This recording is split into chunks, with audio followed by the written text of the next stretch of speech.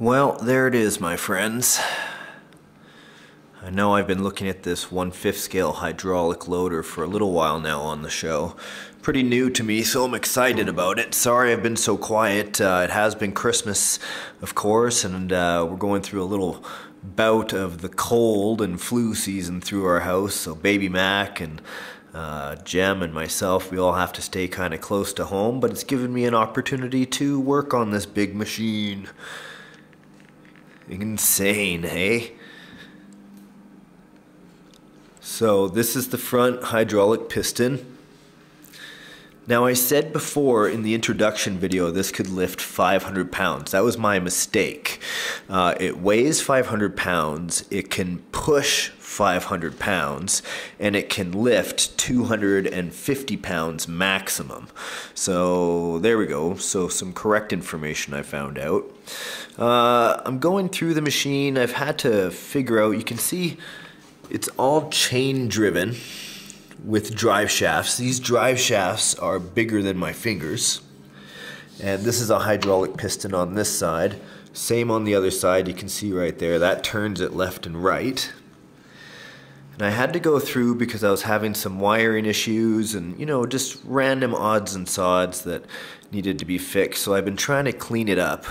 There is just a heck of a lot of wires to be seen but everything's separated into the hydraulic, uh, um, uh, I guess, actuators. I don't know the proper term for these. What do they say on them? Yeah, hydraulics. Uh, yeah, well, these are just basically the pump controls that pump all the fluid. There's the tank on the bottom, the two batteries. These are actually two 12 volt batteries hooked up for 24 volts. There's a big relay. The relay runs through to a fuse, 200 amp, moving through to the drive motor. Now I've had to pull this apart. Actually, this is a motor on top. Here, let me get around. That goes into this gearbox. Now I took this whole gearbox apart and it's actually a screw drive on the inside. Uh, 60 to 1 gear ratio in there. Some folks say this, the, the tires look kind of small for it. I agree, but at the same time, I also have to think about uh, the size of the drive shafts and you know the the power distribution changing the gears if we make the tires any bigger. I think just learning about this machine right now is something I have to put a great deal of time into. In fact, even though I just rebuilt this axle, I want to open it up again, even though I have to take all of this out, the whole hydraulic pump, everything, and just check the gear mesh. I did mesh it. I did give it quite a quite a good gap because uh, I know that it's locked all the time, so being on cement is kind of tough. So I gave it a little bit of play, but it almost sounds like it's too tight, but I don't know.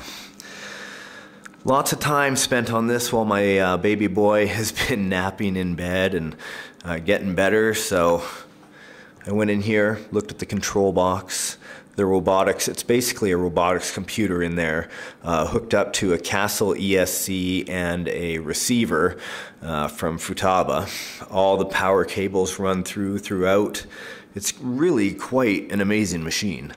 And I know everybody's been waiting for me to go out and do some heavy work with this machine. Number one, we haven't had any snow yet.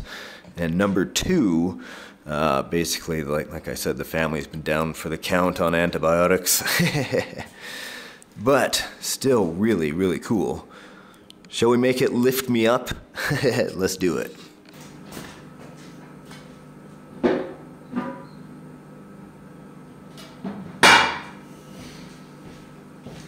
Lid for it is over here, the cab.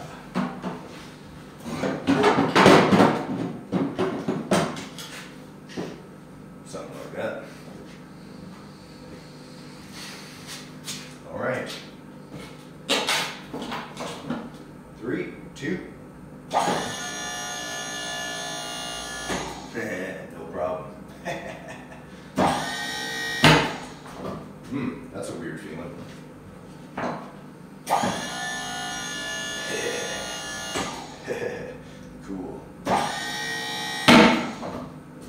Going to do some good work.